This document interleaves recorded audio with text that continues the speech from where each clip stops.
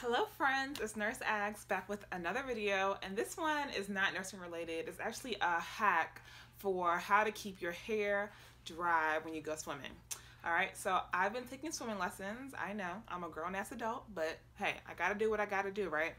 And for me, the biggest dilemma was how I was going to keep my hair dry because I am natural. I have 4C hair, um, which is another way of saying my hair is very coarse and textured and whenever it gets wet it just mats together so I just knew I would have to keep my hair dry by whatever means necessary if I was going to take these swim lessons. Through trial and error I found something that works for me.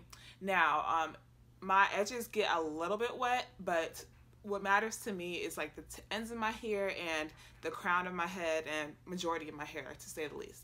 So, so what you'll need is two swim caps. I have one that's just like a regular one it's Speedo brand. I have another one that I got through Amazon.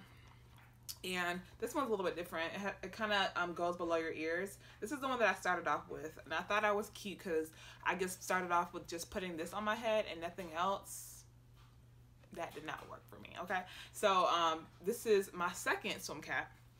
And then um, a good old shower cap um, a hair tie, and then I have one of these headbands, and it's not cloth material. Um, it's more of like I want to say like polyester maybe, um, but I didn't want to get cotton because I was trying to keep water from soaking into it as much as possible. Um, so that's all you'll need. So to start, um, my hair is is my little um, ASAP Rocky braid. um, which helps a lot because if my hair was all out, it would be really hard to put into these swim caps. So all I do is I take my hair tie and um, I just tie my hair on top of my head as to keep the water from getting to it. The purposes of this video, my hair's like been washed and cleaned and I don't want to put on you know, that chlorinated swim cap on my head. So I'm just going to protect my hair using one of my wraps, but you do not need this when you go swimming, okay? So what you really do, you start off with swim cap number one, the one without the ear. And I just stretch that over my head. Okay. And then you put on um, your swim cap, just like that.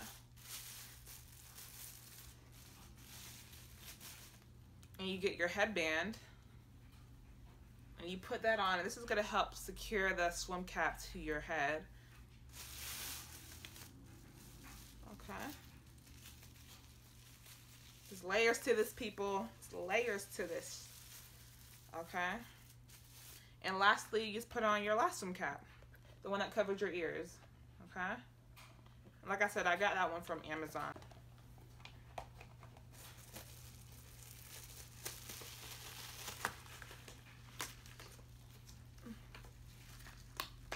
and I am ready to go swimming.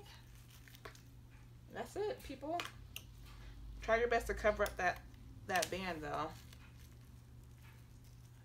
Yes, you will feel like you have a facelift, but all that matters is that your hair is dry. So this is all I do and my hair has been able to stay dry especially this part the perimeter does get a little bit wet so all I do is I'll just rinse that off with um, water when I get home my shower and maybe sometimes I put a little you know shampoo or whatever but for the most part that's all I've had to do and I've been good to go. So yes you too can swim as an adult if you're a naturalista or if you have a lot of hair yes you can swim as well. I hope this helps someone out there. Bye